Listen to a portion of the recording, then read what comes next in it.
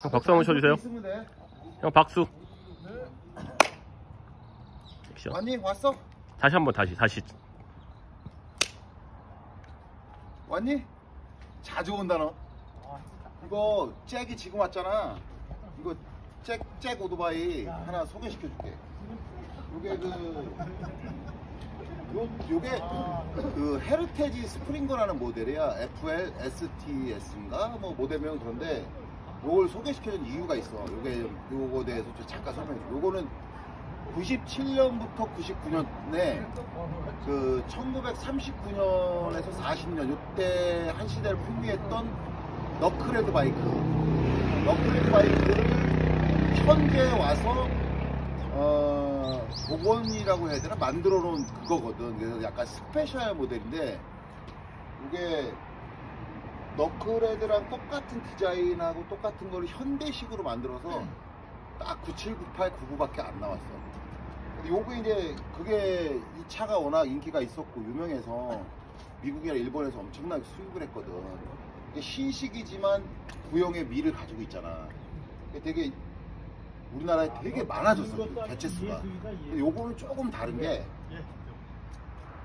1999년도에 하리 데이비슨 본사가 한남동에 들어왔는데 사실은 거기가 정식 딜러라고 볼 수 있는지는 모르겠어요. 왜냐면 이렇게 총파나 거래하는 뭐 그런 내용은 중요한 건 아니고 그때 우리나라에 한 대 99년 마지막 이자 처음이자 딱 한 대 정식 출고된 바이크야 이 바이크가. 그러니까 약간 가치가 있지.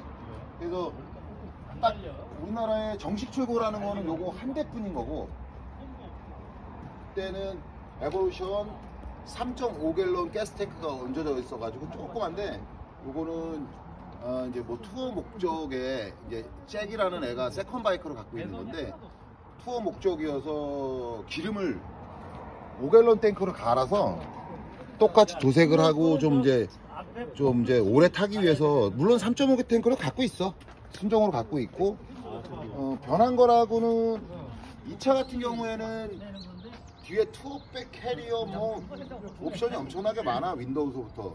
근데 요거는 지금 탱크는 5갤런으로 그냥 교환해서 쓰려고 만들어 놓은 거고. 아, 정식 출고랑 다른 점. 요거는 한국에 정식으로 들어온 거라 원래부터 킬로메다야 킬로메다. 그리고 뭐 한남동 그런 서비스 애들 보면은 무슨 정식이면 뭐 AS를 해준다 만다 하는데 얘는 AS가 가능하겠지 당연히. 그 순정 시트 다 가지고 있고 또 말안장은 이제 뭐 그냥 재미로 모양 때문에 이렇게 한 거고. exhaust 다 순정 상태고 위에 end만 fishtail로 갈아져 있고.